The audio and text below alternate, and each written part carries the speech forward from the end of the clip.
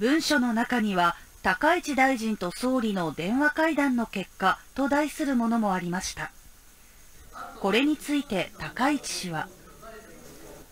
もしも私と安倍総理の電話の内容がですね、あのそのような文書に残ってるとしたら、あの私の電話に盗聴器でもついてるんでしょうか。全くそれは捏造文書だと私は考えております。仮にこれが捏造の文書でなければ、大臣、そして議員を辞職するということでよろしいですね。高市国務大臣。あの、結構ですよ。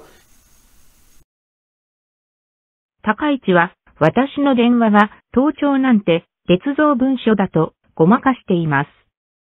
3月9日の高市安倍総理の電話会談という内部文書は、磯崎の主導で進む民間テレビ弾圧計画に関して、安倍総理が了承しているのか、高市に確かめてもらおうということになりました。この文書は、高市と安倍総理の電話会談結果を大臣と官僚とでシェアした文書です。